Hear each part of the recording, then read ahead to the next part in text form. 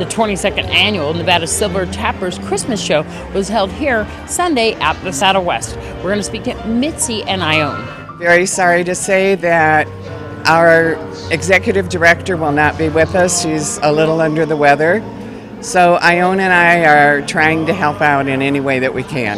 That's BJ Hetrick Irwin. She, this is the first time that she's missed this. I bet she's real upset about that. So and we. so are we. Yes. Yeah, this is the first time in 22 years that she's ever missed this. And you know, she's our leader, she's our mentor, she's just the woman that we that we all love dearly, and we're all praying for her. And we will be doing this show for her. Yes, it will be dedicated to her. Wonderful. And uh, what are we going to be seeing tonight? A little bit of a taste of that. Well, if we don't have anybody else get sick.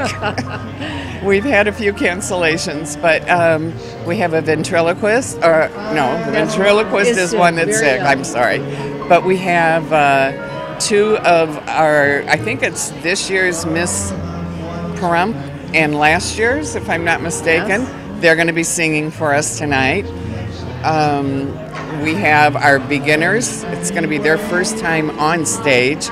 we have yes, we have the 4-Hers. Yes. Yeah, yeah, the stars and starlets, and they're gonna.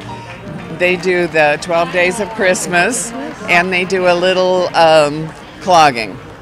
And so, the Tappers are going to introduce a new number tonight as we number and some new costumes. I hear. Yes. yes, that's right. So that's what we'll be opening the show with. Is that what you guys are wearing right now? Yes, it is. Yes.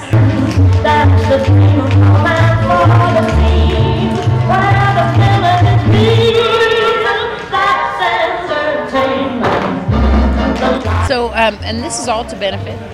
This will benefit um, Food for Thought, Path of Hope, right, and the teachers. Yes, absolutely. And we should have two of our principals here today, besides representatives from both of those organizations. And as usual, a packed house a packed house. Yes, absolutely. You can see that here. Our community supports our charitable choices, and we're so grateful for that. We wish the best to BJ Hetrick Irwin, who couldn't attend this performance. This is Deanna O'Donnell for News 46.